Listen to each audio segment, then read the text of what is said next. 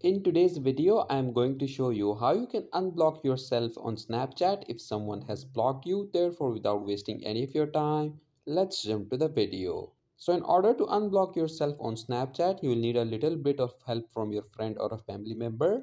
So all you have to do is to take their phone and open their Snapchat. Go to chats and then click on this blue icon at the bottom.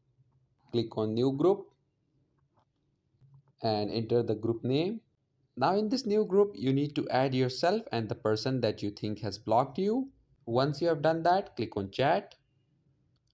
Okay, now a group is created and in this new group, both you and the person that has blocked you are added. And whenever you will send a message in this group, then the person that has blocked you will also receive that message. In this way, you can unblock yourself on Snapchat. So that was it for this video and I'll see you guys in the next one. Peace out.